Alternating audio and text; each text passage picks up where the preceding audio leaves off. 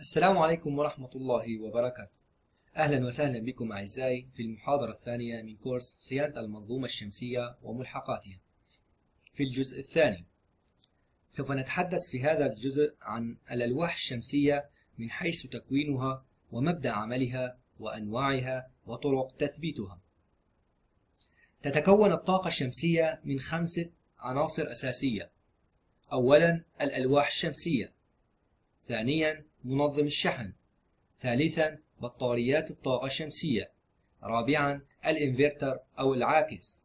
خامسا وأخيرا الكابلات ودارات الحماية. بداية سوف نتكلم عن الخلايا الكهروضوئية ومبدأ عملها.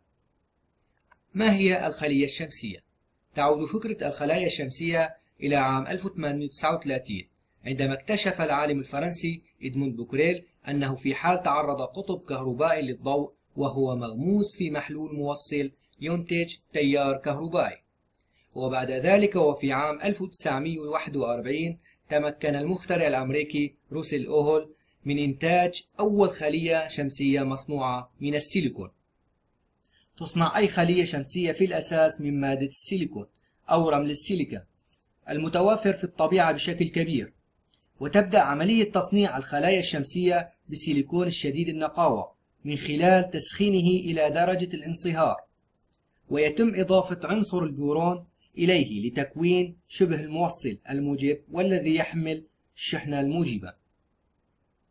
ويتم بعد ذلك تشكيلها على شكل كتل باستخدام الصب أو الطرق ومن ثم يتم تقطيع هذه الكتل إلى شرائح رقيقة باستخدام المناشير السلكية.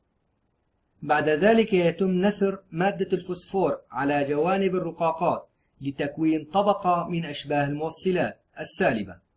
ومن ثم يتم رش هذه الرقاقات بطبقات متعددة من المواد الكيميائية لتقليل انعكاس أشعة الشمس عن الخلية.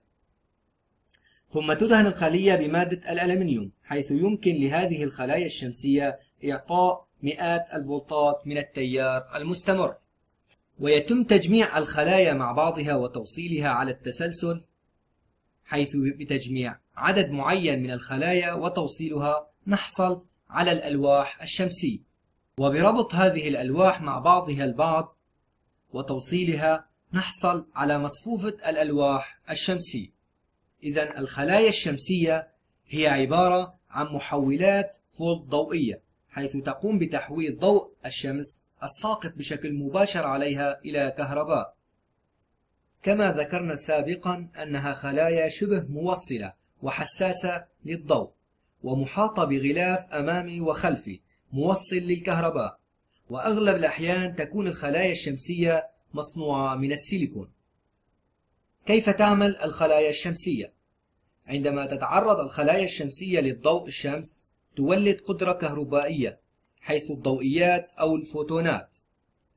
تعتبر الفوتونات من أصغر الأجزاء الموجودة في الطبيعة وهي الشكل المعروف لانتقال الضوء حيث تخترق هذه الفوتونات السيليكون وتضرب ذراته بشكل عشوائي مما يؤدي إلى تأين ذرات السيليكون حيث يؤدي ذلك إلى إفلات الكترون خارجي من مداره محولا طاقته إلى طاقة حركة الإلكترون وحركة هذه الإلكترونات بطاقتها تسمى التيار الكهربائي.